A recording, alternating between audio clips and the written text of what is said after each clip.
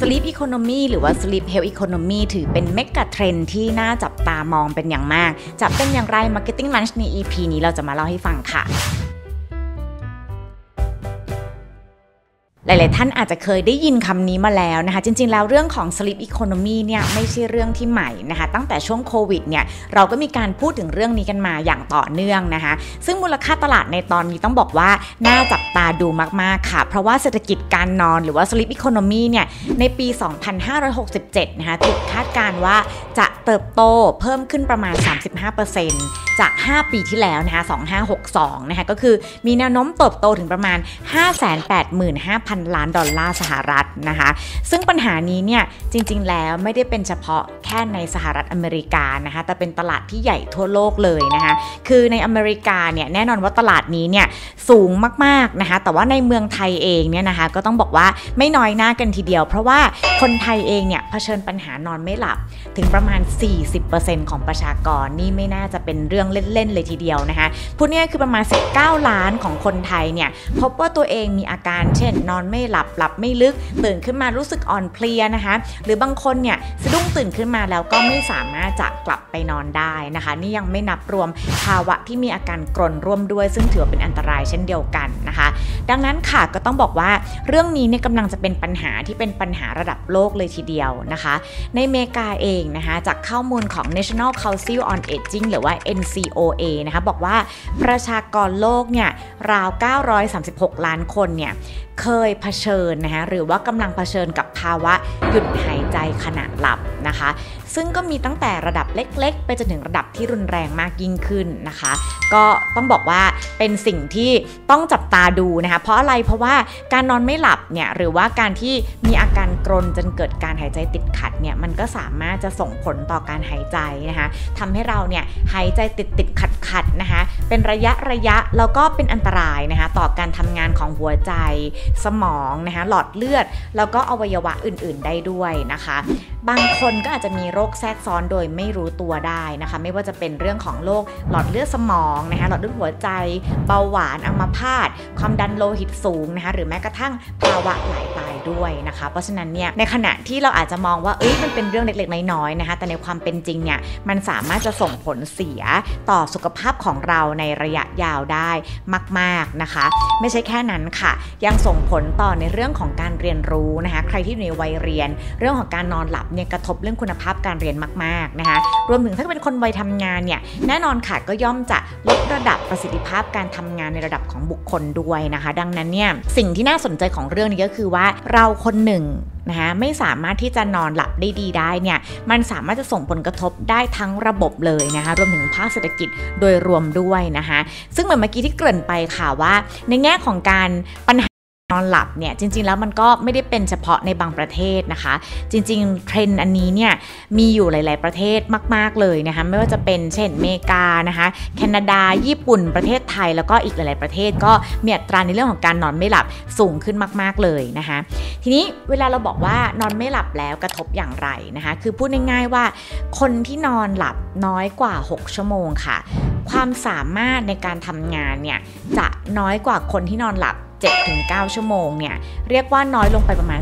2.4%เลยนะคะ เพราะฉะนั้นเนี่ยพนักงานที่นอนหลับไม่เพียงพอเนี่ยจะสูญเสียวันทำงานไปมากกว่า พนักงานที่นอนหลับเพียงพอเนี่ยประมาณ 6 วันต่อปีนะคะดูดูแล้วอาจจะแบบดูเหมือนไม่ได้เยอะแยะอะไรมากมายนะคะ แต่ว่าลองนึกภาพว่าถ้าเราคูณจำนวนคนที่เป็นแบบนี้เข้าไปเนี่ยมันก็ย่อมจะส่งผลต่อ productivity ของประเทศได้นะคะ ทีนี้ค่ะ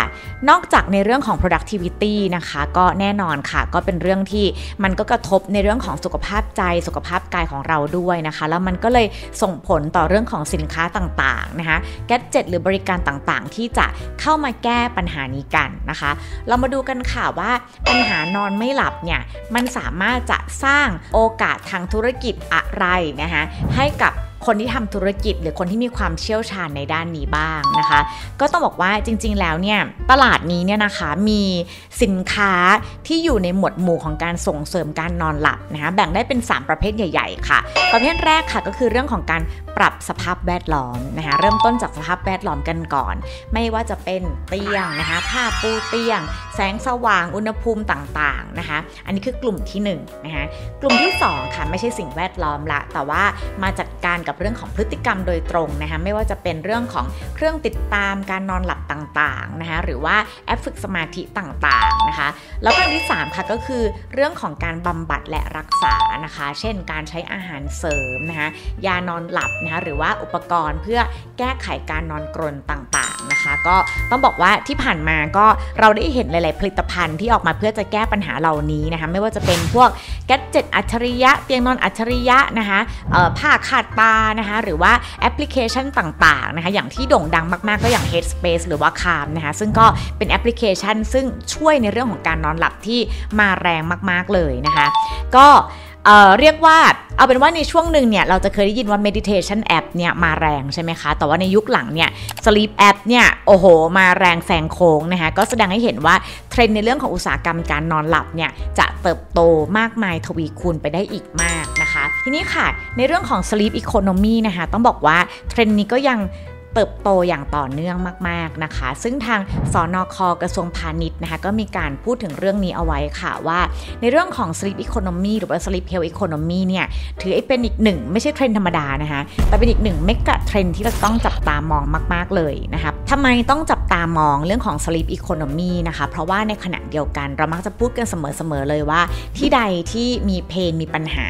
ที่นั่นก็ย่อมตามมาด้วยโอกาสทางธุรกิจค่ะ และโดยเฉพาะอย่างยิ่งนะคะในประเทศไทยเราเองเนี่ยเรามีสมุนไพรดีๆ เยอะมากมายที่จะเข้ามาช่วยแก้ปัญหาต่างๆ เหล่านี้ได้นะคะ รวมถึงผลิตภัณฑ์อีกหลายๆอย่างซึ่งเดี๋ยวจะเล่าให้ฟังนะคะแต่ว่าอันนี้จะมาขมวดให้ฟังนะคะว่ามันมีสินค้าอะไรบ้างที่น่าสนใจนะคะอะมาดูอย่างแรกกันก่อนนะคะ สินค้าอะไรบ้างอันที่1นนะคะหมวดหมู่เรื่องของอาหารเสริมนะคะ อันนี้แน่นอนนะคะ โดยเฉพาะหมวดหมู่ที่เป็นการบำรุงสมอง ผ่อนคลายความเครียดทั้งหลายนะคะ เติบโตทั่วโลกค่ะ 2 ค่ะ สิ่งที่เป็นสมุนไพรนะคะ ไม่ว่าจะเป็นสารสกัดจากธรรมชาติ สารสกัดจากสมุนไพรต่างๆนะคะ อันนี้ก็ถือว่าเติบโต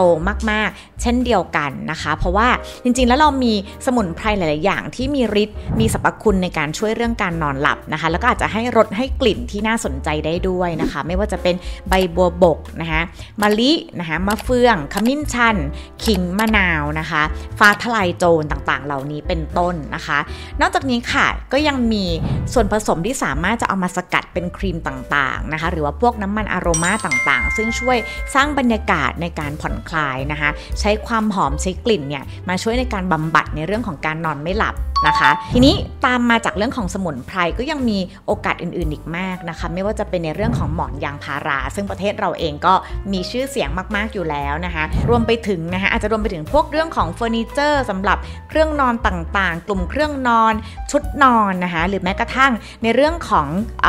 อปพลิเคชันต่างๆ ก็เป็นโอกาสที่คนไทยสามารถที่จะทำได้เช่นเดียวกันนะคะ ทีนี้พอเราเริ่มเห็นละนะคะก็มาดูกันว่าเอ๊ะแล้วใครละที่เป็น targetนะคะเราอาจจะมองว่าการนอนไม่หลับเนี่ยน่าจะต้องเป็นปัญหาของกลุ่มผู้บริโภคที่มีอายุ 40 ปีขึ้นไปนะคะซึ่งถ้าเกิดเป็นสมัยก่อนก็ใช่นะคะแต่ว่าความน่าสนใจคือทั้งในประเทศไทยและในต่างประเทศนะคะตอนนี้ปัญหานอนไม่หลับเนี่ย ไม่ได้จำกัดเฉพาะคนที่มีอายุ 40 ปีขึ้นไปนะคะ แต่ว่าปัจจุบันเนี่ยขยายมาสู่กลุ่มคนทำงานและวัยรุ่นนะคะ ซึ่งอันนี้ก็เป็นไปในทิศทางเดียวกันของตลาดทั้งโลกนะคะ อย่างเช่นอายุประมาณ 18ถึง40 ปีนะคะ ซึ่งก็เป็นกลุ่มคนที่เผชิญความเครียดนะคะ เผชิญเรื่องของเรื่องราวต่างๆ แรงกดดันทางเศรษฐกิจเงินเฟ้ออื่นๆอีกมากมายนะคะ ก็เลยส่งผลต่อเรื่องของปัญหาการนอนหลับ แล้วก็การนอนหลับที่ไม่มีคุณภาพด้วยนะคะอะทีนี้ในเรื่องของเพศบ้างนะคะ ก็เมื่อกี้เราพูดถึงอายุไปแล้วนะคะ ในเรื่องของเพศค่ะ ก็ผู้ชายจะนอนหลับน้อยกว่าผู้หญิงราวๆประมาณ 9 นาทีนั่นเองนะคะ ก็ดังนั้นลองสังเกตพฤติกรรมในการนอนของเราเองด้วยนะคะ ว่าตอนนี้เนี่ยเรามีคุณภาพในการนอนเป็นอย่างไรบ้างนะคะ หรือว่าสิ่งต่างๆ เหล่านี้เนี่ยใกล้เคียงกับเรามากน้อยแค่ไหนนะคะ ทีนี้มาถึงเรื่องของการปรับพฤติกรรมกันบ้างนะคะ เรื่องของการปรับพฤติกรรมในการช่วยลดปัญหา ไม่ว่าจะเป็นเรื่องของการนอนกรน หรือว่าการหยุดหายใจขณะหลับที่ดีที่สุดนะคะอย่างแรกเลยค่ะ ก็คือเรื่องของการลดหรือควบคุมน้ำหนักตัวนะคะการควบคุมอาหาร ออกกำลังกายอย่างสม่ำเสมอ อันนี้มีส่วนช่วยได้เยอะมากๆนะคะ รวมถึงการหลีกเลี่ยงเครื่องดื่มที่มีแอลกอฮอล์ต่างๆนะคะแล้วก็พยายามหมั่นสังเกตอาการของตัวเองแล้วก็คนรอบข้างด้วยนะคะ การนอนเนี่ยถ้านอนก็มีผลนะคะการนอนตะแคงเนี่ยก็จะช่วยในการทุเลาปัญหาต่างๆ เหล่านี้ด้วยนะคะ นอกจากนี้เนี่ยพยายามสังเกตตัวเองมาก ๆนะคะว่า เรามีอาการนอนกรนเป็นประจำไหม